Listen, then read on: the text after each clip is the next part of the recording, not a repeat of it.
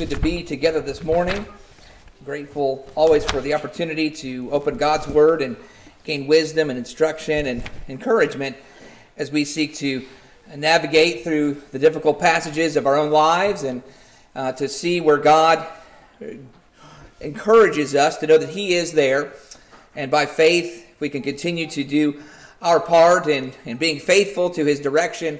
Uh, we can safely reach our own destinations.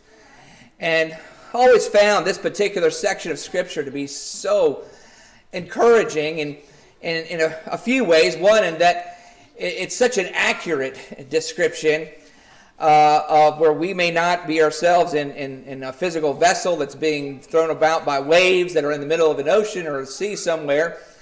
But we may very well feel that way at times. It may feel that our life is just uh, being torn apart or, or, just thrown about in, in a number of different ways, and we feel we're totally incapable of stopping the direction. And, and I've always felt that this description of what the sailors were, were facing is such um, an accurate description and a parallel in many ways of sometimes what we go through in our own lives.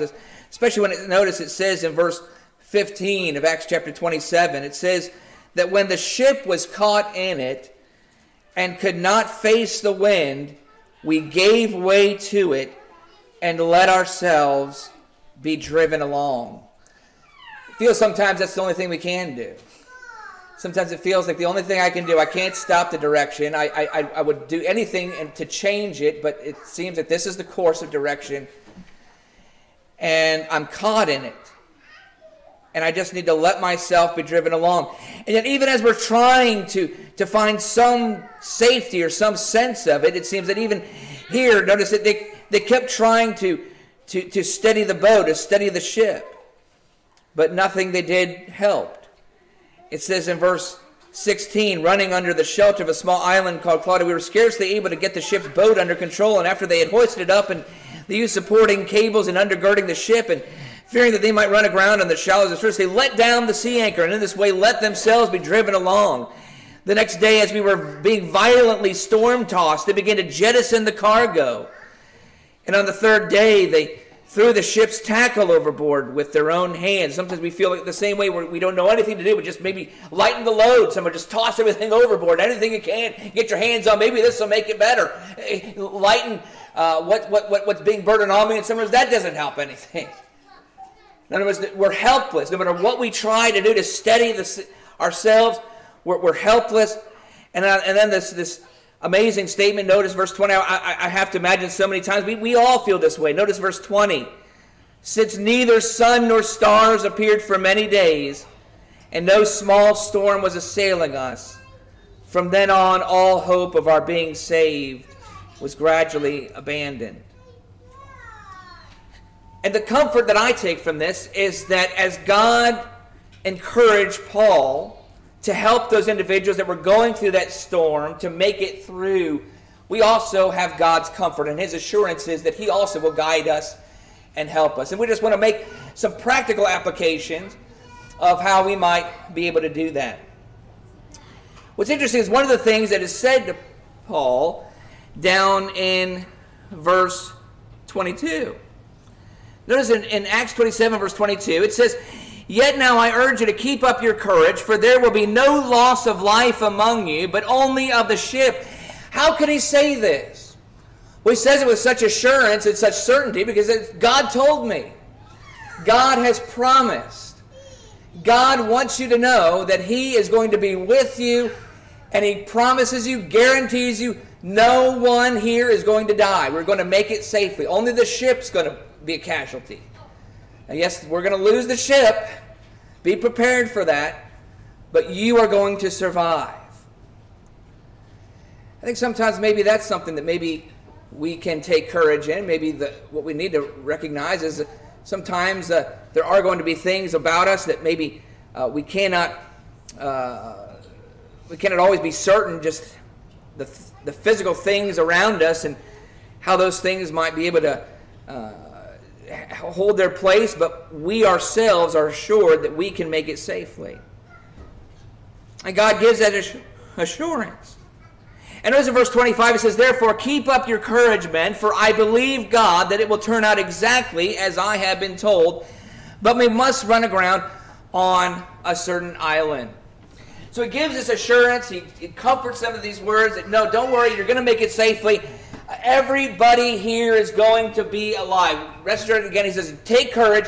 You are going to survive. Now, something happens, and Paul notices what happens next. A bunch of the sailors start deciding, you know what, it's getting pretty bad out here, and we're going to drop a little a little boat here, life raft, and we're going to jump in it. We're, we're getting out of this boat. And Paul says something interesting. Paul goes to his commanding officer and says, I want, to, I want you to know what these guys are doing. And I'm going to tell you, if those guys get off the ship, none of you are going to be alive. I think, why, why would he say that? Didn't he just say everybody's going to be alive? He just said, God told you, God promises, God assures you. He told me to tell you, you are all going to be alive. But then he sees these sailors jumping ship. He says, if they get off this ship, none of you are going to make it alive. How do we make sense of that? What we make sense of is what those sailors did when they stayed on the ship and what God needed those sailors to do to ensure his promise would be true. In other words, God made a promise. Yes, you're going to be made alive, but it was always on conditions that we take action or we are involved, that we do something in compliance with his promises. In other words, there were skilled sailors that were able to navigate and help during that storm. And if those sailors got off the ship, guess what? There's all the skilled people. In other words, God will give us promises. God will tell us certain things are true, but they always have conditions that we are active participants in doing as much as we possibly can do in our obligation of faith. Fact, notice what happens. It says in verse 27 But when the 14th night came, as we were being driven about in the Adriatic Sea, about midnight, the sailors began to surmise that they were approaching some land. They took soundings and found it to be 20 fathoms. And a little farther on, they took another sounding and found it to be 15 fathoms. Fearing that we might run aground somewhere on the rocks, they cast four anchors from the stern and wished for daybreak. But as the sailors were trying to escape from the ship and had let down the ship's boat into the sea on the pretense of intending to lay out anchors from the bow, Paul said to the centurion, and to the soldiers, Unless these men remain in the ship, you yourselves cannot be saved. In other words, God's promise is conditional that we all do the best we can with what we have while we have it. We must be active participants with God's work. It's God to just. I'm gonna, regardless, you just sit there and just let God do all the work. No, there was something that the sailors were going to be required to do. And we see what these sailors did. Uh, keep reading. These sailors stayed in the boat. Notice it says in verse 32 the soldiers cut away the ropes of the ship's boat and let it fall away so the sailors couldn't jump ship and they couldn't get the escape route. So notice verse 39. We see why we needed these sailors.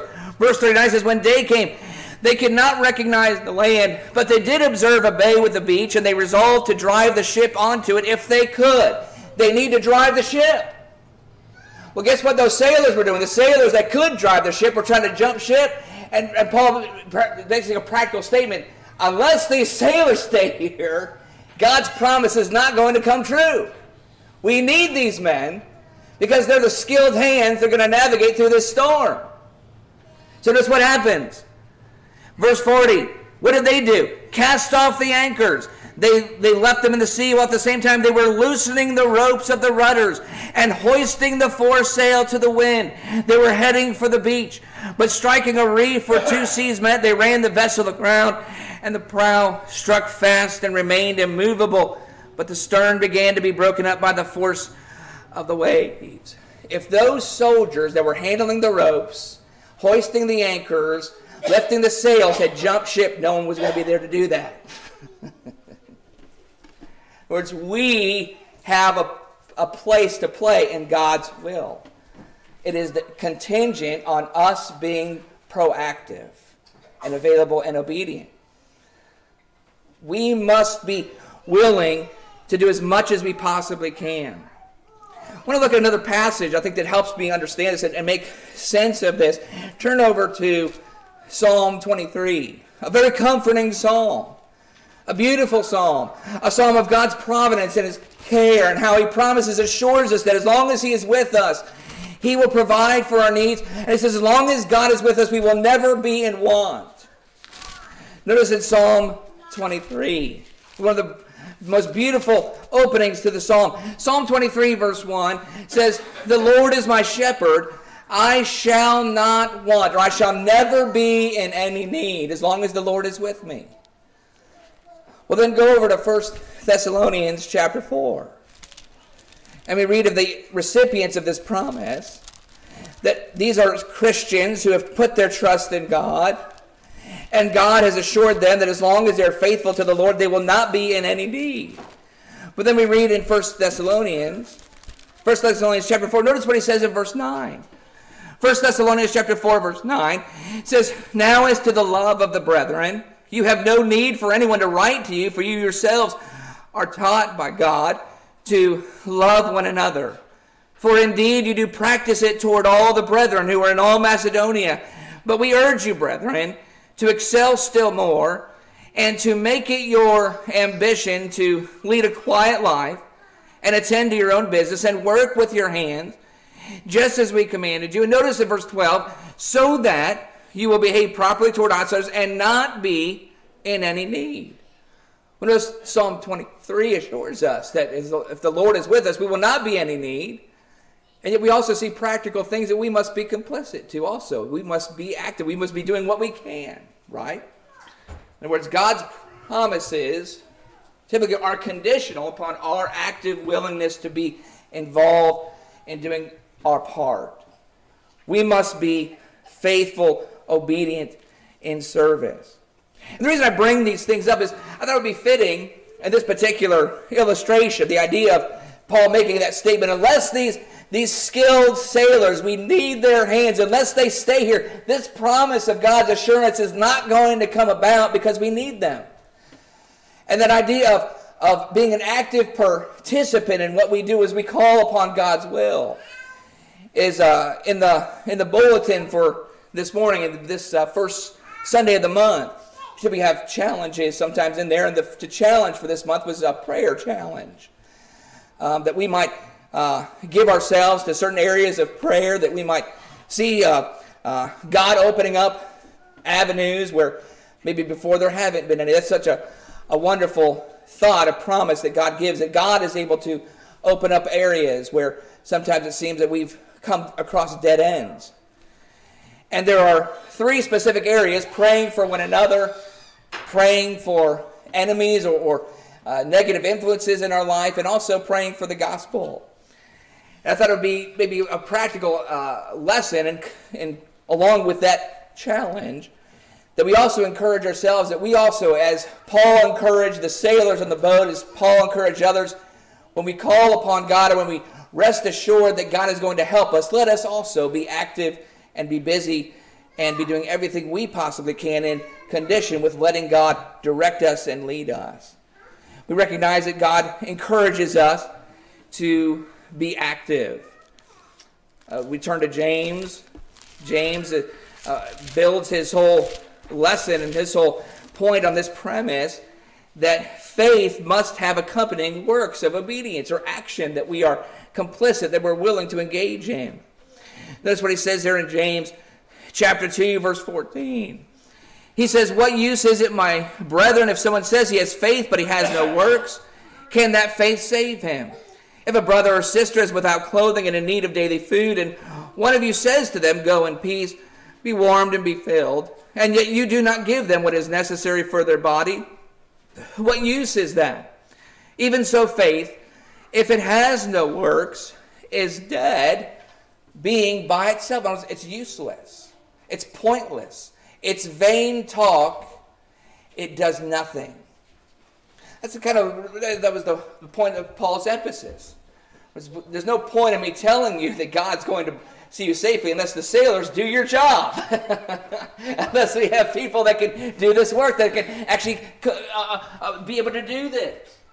And so I want to just take that application, take that principle, and plug it in those three simple areas where we will hopefully grow in a, that challenge of giving ourselves to prayer in just three simple areas. One, that we might pray for one another. Let us be praying for one another. Let us be uh, observant and, and acknowledging the areas that we are struggling with, the areas that we are have need of, and let us also be willing to also be be active, to be willing to be available, willing to help, willing to lend a hand if we have the opportunity and if we are able to do so. That's the point he makes in James chapter 2 is what point is it to say that I'm praying for someone if I'm not willing to do something about this, to, to help? Notice if we turn over to 1 John. 1 John also encourages us to have this practical application of our faith and our love. That let us always be willing to be having that hand that is willing to work, to, to help, to engage, along with that kind hearted sentiment of acknowledgement that there is a need. And notice what he says there in 1 John chapter 3. He says in verse 16, he says, We know love by this, that he laid down his life for us, and we ought to lay down our lives for the brethren. But whoever has the world's goods and sees his brother in need and closes his heart against him, how does the love of God abide in him? Little children, let us not love with word or with tongue, but in deed and truth. We will know by this that we are of the truth and will assure our heart before him in whatever our heart condemns us. For God is greater than our heart and knows all things. And that could be a variety of it. And, and, and sometimes, maybe the, the, the, key area, I believe sometimes this is needed, so that we can see the physical need. Something how many times, certainly, maybe in a spiritual need. You know, in Ephesians chapter 6, where Paul goes through the armor that we put on. And as I'm done suiting up my armor, my obligation is then to recognize that I have no backing armor, and neither do you. And so the term we've got each other's backs is something that comes to mind. That we need to have each other's backs because there is no armor on the back, it's all front. And so the need for us to, to be there for, for one another. And hopefully, perhaps even have that watchful eye that not only are we praying for one another in certain areas where maybe we recognize that we have need of, of being more vigilant in temptation, but that we can also, as well as the, as the scripture teaches, to be willing to help in whatever way we can. Offer some scripture, offer some encouragement, offer uh, maybe some, some point of reference that has helped you in some way, and be able to ha- maybe pass that along and, and be able to find useful. But notice that's the context there is that we must also be praying for one another that we might have one another's back. There in Ephesians chapter 6, Notice he says there in verse 10 Finally, be strong in the Lord and in the strength of his might. Put on the full armor of God so that you will be able to stand firm against the schemes of the devil. For our struggle is not against flesh and blood, but against the rulers, against the powers, against the world forces of this darkness, against the spiritual forces of wickedness in the heavenly places. Therefore, take up the full armor of God so that you will be able to resist in the evil day, and having done everything, to stand firm. Stand firm, therefore, having girded your loins with truth, and having put on the breastplate of righteousness, and having shod your feet with the preparation of the gospel of peace, in addition to all, taking up the shield of faith, with which you will be able to extinguish all the flaming arrows of the evil one, and take the helmet of salvation and the sword of the Spirit, which is the word of God. With all prayer and petition, pray at all times in the Spirit, and with this in view, be on the alert with all perseverance and petition for all the saints. As he says, we must pray for one another. Let us also, with prayer, have action, be a willing participant in those prayers. Now, for me, one of the greatest blessings that has always helped me, uh, it, it, it seems like you know, maybe maybe we ourselves, maybe maybe that's why maybe we hesitate to offer it to others because we don't think maybe there's there's maybe much in it. But when you're on the receiving end, I, I love. It's amazing when you get a phone call or you get a text. Just, someone says, "Hey, just checking up on you. How are you doing? Do you, do you need anything? Uh, uh, can I help you with anything?" Just to know that not only is there prayer, but there's a willingness to say, "What can I do?" And that's really what that principle that Paul is implementing is saying that it's, it helps when we are in involved in the process of working together with God. And that's such a blessing that we can offer that for one another. And so, when to offer that added element of encouragement, as we do pray for one another, let us also be on standby, on guard, or on willingness to just to offer whatever it is that we can, and be willing to be active participants in our prayers for one another. That he encouraged them to pray together for each other, for our weaknesses, for our struggles. As he says in Ephesians chapter 6, verse 18, with all prayer and petition, pray at all times in the Spirit, and with this in view, be on the alert with all perseverance and petition for all the saints, and pray on my behalf that utterance may be given to me in the opening of my mouth to make known with boldness the mystery of the gospel, for which I am an ambassador in chains, and in proclaiming it I may speak boldly as I ought to speak. You know, one of those things that certainly makes it easy for uh, individuals to speak boldly. And Jesus incorporated that. You know, he talked about the disciples that would go out in hostile environments preaching the gospel, the, the preliminary elements of the kingdom. And then he said, Someone who offers you just a cup of cold water will in no ways lose their reward. In other words, that sometimes that prayer accompanied with an offering hand or a gesture of help or assistance that that's such a blessing and does be able to do so much in our growth, in our development, in our keeping ourselves vigilant against temptation. So again, let us keep in our minds vigilant to, to offer that to one another. Another area where I think this is also uh, very challenging for me, and certainly has to be challenging for all of us, I think, when it comes to this point. But there's another passage that also encourages us to be active in our prayers, and that's also for our, our enemies we're encouraged to realize what good is prayer. Sometimes praying, and we think, well, I've done enough. Pray, I don't even have to say this prayer. it's enough that I even, I even think about you. But there actually is something else that we are encouraged to be active with, even prayer. And it is also, in the same sense, to be willing to be involved, to offer help, to offer something, and, and let them know that that prayer is genuine. But notice over in Romans chapter 12, we encourage, we are encouraged and challenged that with prayer, we find ourselves even in that moment and willingness to offer it for those who need it. Notice what he says in Romans chapter 12, verse 14 Bless those who persecute you, bless and do not curse. Rejoice with those who rejoice, and weep with those who weep. Be of the same mind toward one another. Do not be haughty in mind, but associate with the lowly. Do not be wise in your own estimation. Never pay back evil for evil to anyone. Respect what is right in the sight of all men. If possible, so far as it depends on you, be at peace with all men. Never take your own revenge, beloved, but leave room for the wrath of God. For it is written, Vengeance is mine, I will repay, says the Lord. And notice verse 20, it says, But if your enemy is hungry, feed him. And if he is thirsty, give him a drink. For in so doing, you will heap burning coals on his head. Do not be overcome by evil, but overcome evil with good. So perhaps in a certainly more challenging element of, of action, or something could be challenging enough just to, instead of having a, a curse in our mouth, to, to, to replace it with a blessing and prayer.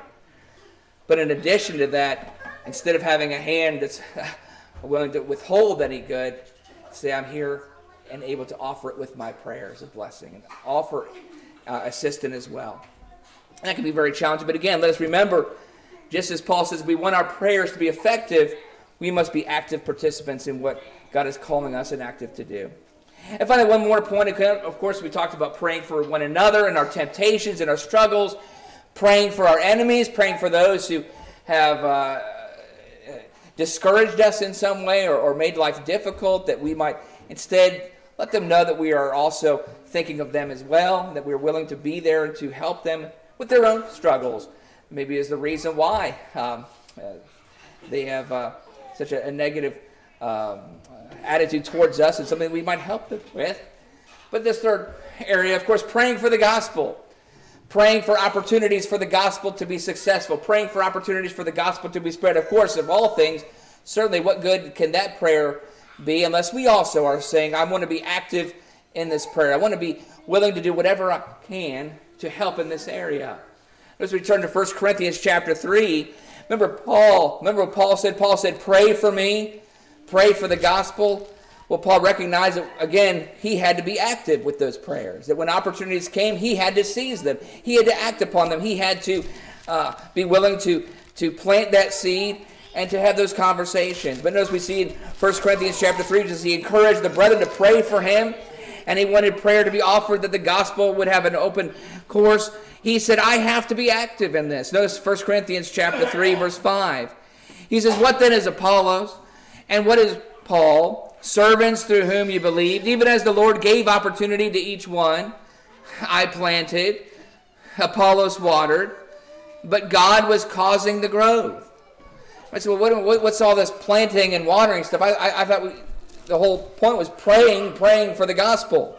Yes, praying in our obedient faith, working alongside those prayers.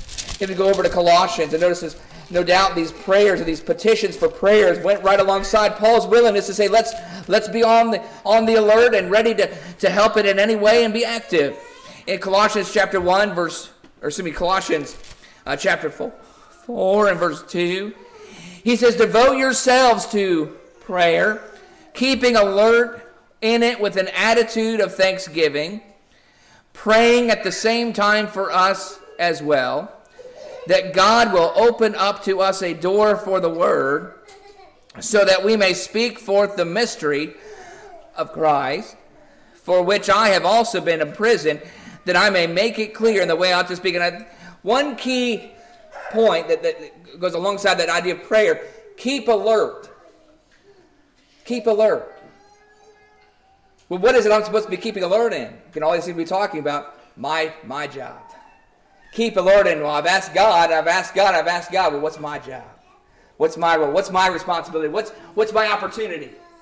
Keep alert in it so that what? That I may then seize upon it. Notice he says, verse 5, there are things that I must do, things I must control, things I must be actively thinking about while I'm engaging in the opportunity. In other words, I can't just uh, be, be just totally giving it to completely to God. I must seek to direct my mouth.